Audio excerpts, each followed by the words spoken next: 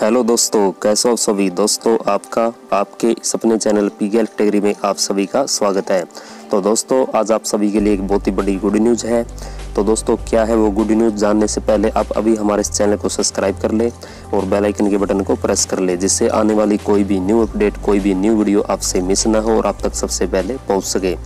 तो दोस्तों, जैसा कि आपको पता होगा कि 2019 में आरआरबी रेलवे के द्वारा एनटीपीसी के ऑनलाइन फॉर्म निकाले गए थे, जिसमें बहुत से कैंडिडेटों ने एनटीपीसी का जो फॉर्म है वो अप्लाई किया था।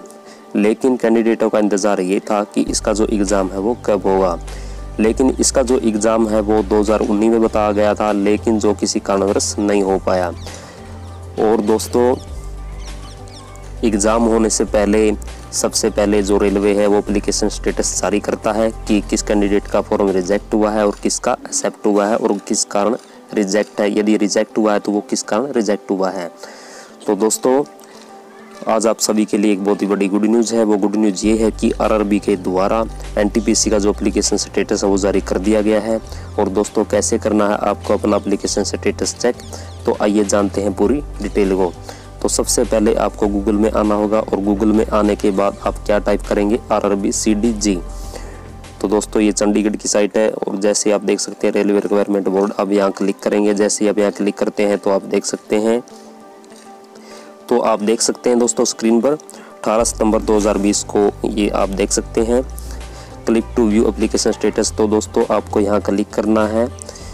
जैसे आप यहाँ क्लिक करेंगे तो आपके सामने एक नई विंडो ओपन होगी, जैसा कि आप देख सकते हैं। और ये आप स्क्रीन पर देख भी सकते हैं एप्लीकेशन स्टेटस और यदि हाँ किसी कैंडिडेट को अपना रजिस्ट्रेशन नंबर नहीं पता है या फिर गुम हो गया है तो फॉरगेट पासवर्ड करके अपना जो रजिस्ट्रेशन नंबर है, वो निकाल सकता है।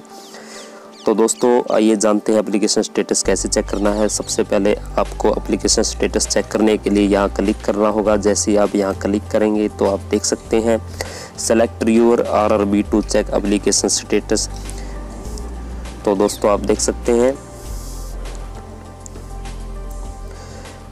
आप देख सकते हैं स्क्रीन पर, यदि आपने अपना जो फॉर्म है वो अहमदाबाद जोन से लगा था तो आप अहमदाबाद में जाके अपना एप्लीकेशन स्टेटस है वो चेक कर सकते हैं। तो सपोज़ मैंने यहाँ चंडीगढ़ लगाया है तो यदि आपने चंडीगढ़ फॉर्म अप्लाई किया है तो आप देख सकते हैं, आप जैसे ही चंडीगढ़ पर क्लिक करेंगे यदि या फिर किसी भी जोन में क्लिक करेंगे तो दोस्तों आपके सामने ऐसी ही विंडो ओपन होगी।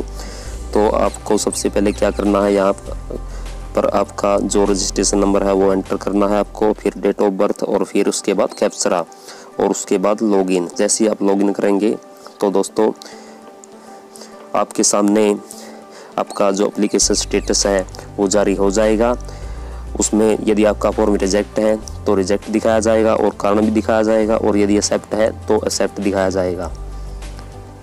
तो दोस्तों, इस प्रकार आपको अपना जो रजिस्ट्रेशन नंबर है, वो एंटर करना होगा, जैसा कि हमने किया है, और फिर डेट ऑफ़ बर्थ और फिर कैप्सरा और ये एंटर करने के बाद आपको क्या करना है? लॉगिन करना है, और लॉगिन करने के बाद आपकी जो डिटेल है, यानी फॉर्म एक्सेप्ट हुआ है या रिजेक्ट हुआ है तो वो आपके सामने जारी होगा। तो दोस्तों, अभी जो रेलवे का सर्वर है, वो बिज़ी चला हुआ है। आप देख सकते हैं इंस्पेक्टेड एरर अभी एरर लिखा हुआ आ रहा है, क्योंकि अभी अभी जो ये लिंक एक्टिवेट हुआ है तो दोस्तों इस प्रकार अपना आप जो अप्लीकेशन स्टेटस है वो चेक कर सकते हैं। तो दोस्तों, इसी तरह की न्यू अपडेट जानने के लिए आप अभी हमारे इस चैनल को सब्सक्राइब कर लें बेल आइकन के बटन को प्रेस कर ले, जिससे आने वाली कोई भी न्यू अपडेट कोई भी न्यू वीडियो आपसे मिस ना हो और आप तक सबसे पहले पहुँच सके। तो धन्यवाद दोस्तों, जय हिंद, जय भारत।